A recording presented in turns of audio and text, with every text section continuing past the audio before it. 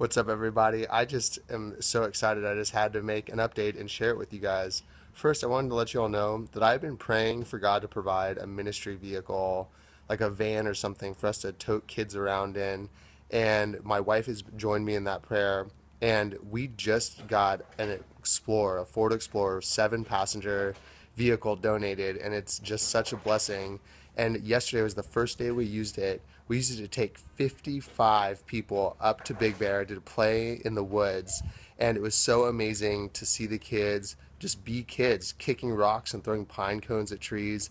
And it was just really amazing um, to watch these kids that are involved in really bad gang activity in Santa Ana and Anaheim, some of the toughest places in Southern California and in the country and for them to understand that God loves them and that those gangs don't love them, and for them to desire something different and to start moving towards something different.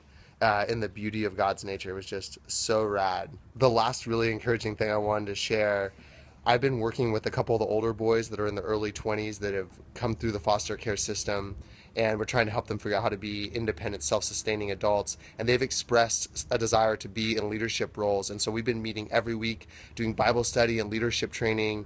And yesterday was the first opportunity. One of them went with us to Big Bear and acted as a leader for the middle school and high school kids. And it was just so amazing to watch this young adult that has been through what these kids have been through growing up in foster care, help them and love them and show them the love of Jesus. And I just am so excited, as you guys can probably tell. So I just wanted to share it with you all. Thank you so much. This wouldn't be happening without you. So please keep praying and doing what you're doing. We love you guys.